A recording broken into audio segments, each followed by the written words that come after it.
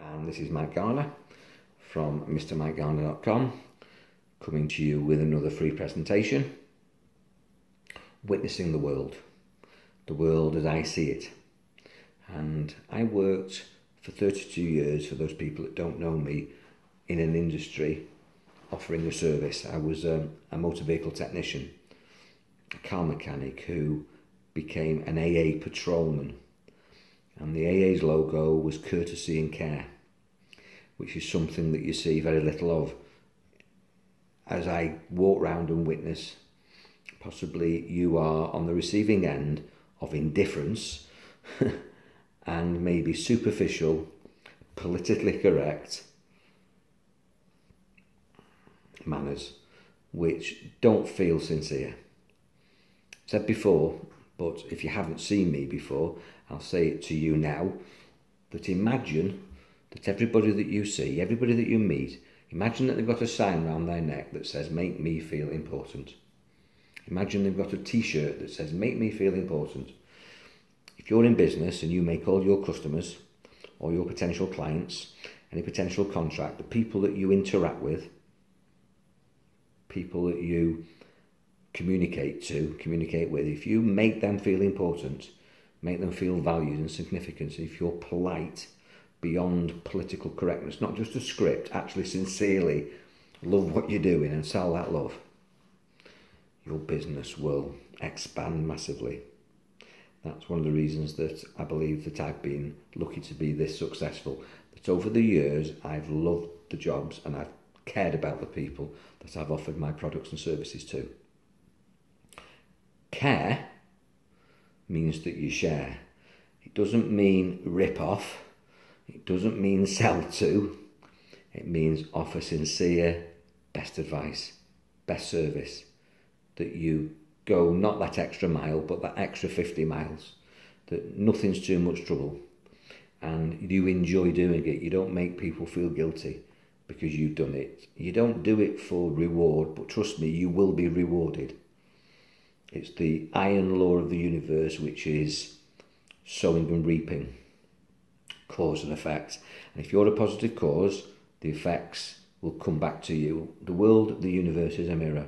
And if you care about other people, they'll care about you. They'll look after you if you look after them. And yet it's so rare. You go into a store for a product or a service, you phone a helpline, which are quite often quite unhelpful. It's not the the individual's fault, it's that they are micromanaged to answer your problem in X amount of seconds. Can't be done. You want to have a personal conversation and they've not got time and quite often you've not got time so you just come out like a solicitor with the facts, bullet points. It's not a conversation. There's no communion, no fellowship in the interaction. It's just facts and then they come back with facts and you're often very, very dissatisfied. There's no care in that and there's no courtesy in that. I would stop doing that. I would slow down, smile before you dial, get on the phone, and you're a person. Don't talk about the product. Don't allow people to refer to you by the reference number of your complaint or the reference number of your purchase. Give your name. Ask them their name. Ask them how their day's going. Care about them. Share your love. Share and care and be courteous all the time because that's the society, that's the world, that's the everyday living environment that you want to experience. And the world's a mirror. And if it starts with you, it'll come back to you. As I say, sowing and reaping, cause and effect. If you're a positive cause, if you sow love and kindness, you'll reap love and kindness. If you give nothing, you'll get nothing. If you give love, you'll experience love. And, you know, that's not a wishy-washy thing. It's a real solid thing where people will get you. They'll feel the difference being with you because you vibrate in a positive, loving way, a constructive way. Now, that doesn't mean that you don't get things done. You'll find that you'll get far more done. You'll be far busier because people will love interacting with you. They'll trust you. They'll feel that you care and that you're polite towards them, not just superficially politically correct polite. You'll radiate the true you, not the superficial you, not the false you, not the ego you, but the loving heart and mind of you. They'll get you. So as you go round your day, today, tomorrow, and for many days, weeks, and months and years ahead, just witness who's not doing that. And you can make a difference. You can show them how to do it by doing it.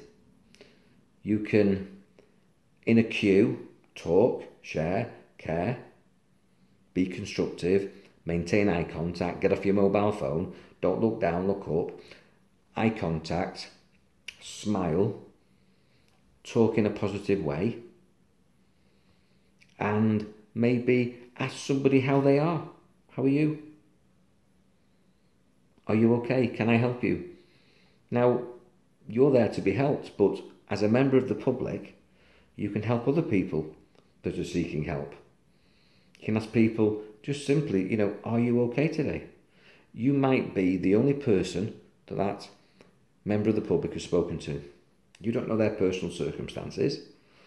You've got to imagine that they're wearing a sign on their t-shirt that says make me feel important, but they're not going to be wearing a sign that says I am bereaved, I am depressed, I am in financial debt, I am homeless, I am stressed, I am concerned about this, worried about that, frightened about the other. That's up to you to maybe find out. Not in an intrusive and nosy way, but in a loving, courteous and caring way. The AA's motto that I worked for was courtesy and care. And apart from fixing cars when I could and towing them away when I couldn't fix them, those people had the Mike Garner experience. I got loads of commendations. I might not have been the best mechanic, as I did my job when I got into the trade, uh, into the A in 1977. I was highly qualified from Ford Motor Company in Stockport. But over the years, you lose touch with modern technology. The new lads coming in were very technically um, able. But I know that the way that I spoke to people, my manner, my love for the job, my passion made people enjoy the Mike Garner experience. And I got lots of commendations. And when you go to get a service or buy a product, you want to have a nice experience. And people will forgive technical mistakes or forgive maybe price differences if they're having a good experience with you. So if you're in business, you know, it really makes sense not to compete on price, but to compete on service, on love, on passion, on care, and on being polite, manners, please, thank you, asking people how they are, following them up after the after the interaction, after the purchase, after the contract to check that they're still happy. Now, these are basics. It's stuff I teach and it's stuff that I I do. And it's rare. It's rare.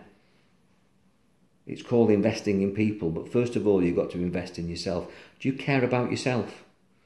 Are you courteous, polite, well mannered about the way that you talk about yourself? Or do you criticise yourself? Do you run yourself down? Do you beat yourself up? Have you got a kind voice in your head? Do you smile at your mistakes and strive to improve? Or do you criticise, condemn, swear at yourself?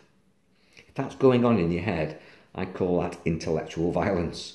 And if you've got this intellectual violence where you're criticising yourself, what sort of state of mind and what's your vocabulary going to be like when you go out and talk to other people? You've got to have inner peace to radiate outer peace and love. You've got to love yourself before you love what you're doing and love other people. You can't give something away that's not inside of you. If you squeeze an orange, orange juice comes out. When you're squeezed, what comes out of you. If you're angry inside, anger's going to come out. Be peaceful, be kind, be courteous, care about yourself, and share that caring with the world and witness the world through kind eyes, smiling, love, appreciation, and gratitude.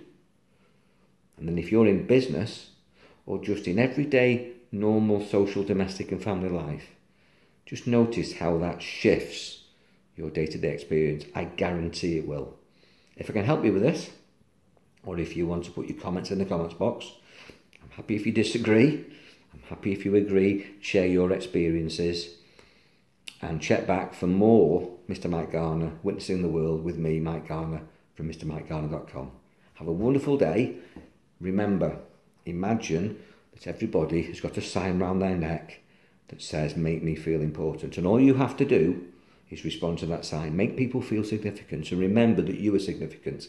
There's no mistakes. You're unique. Celebrate your uniqueness and big yourself up. Don't run yourself down. Smile. Love and really respect yourself and then share that passion. God bless. Bye for now.